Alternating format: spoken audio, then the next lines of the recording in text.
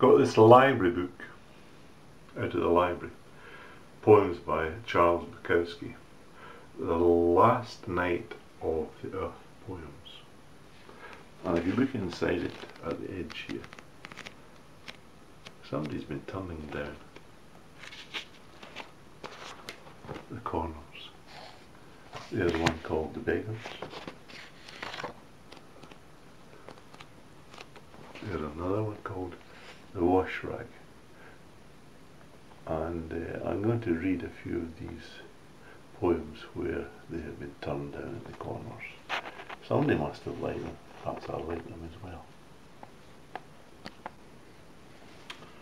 Leaving for the track in the morning, my wife asks me, Did you wring out your wash rag properly?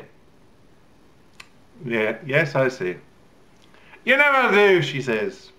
It's important that you wring out your wash rag properly. I get into my car, I start it, I back out into the drive. Of course, she's right. It is important. On the other hand, I don't want to get into an argument over wash rags. She waves goodbye. I wave back. I take a left turn. I go down the hill. It's a fine sunny day.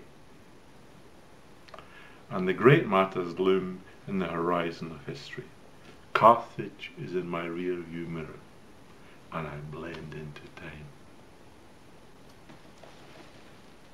The interviewers come around, and there is nothing you can really tell them. It's embarrassing. The easiest way out is to get yourself and them drunk.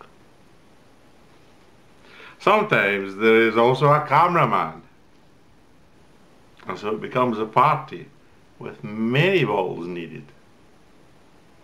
I don't think they to hear any literary crap either. It seems to work out all right. I get letters later. I really had a good time. Oh, it was the best time that I ever had. How strange when all I remember of any particular night is saying goodbye at the door with don't leave anything behind you so you don't have to come back. Balloons. Balloons. Today they shot a guy who was selling balloons at the intersection. They parked their cars at the curbing and called him over. He came over. They argued with him about the price of the balloon. They wanted to come down in price. He said he wouldn't. One of them started calling him names.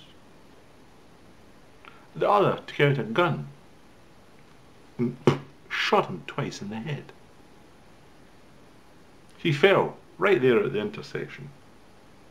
They took his balloons and said, now we can party. And then they drove off.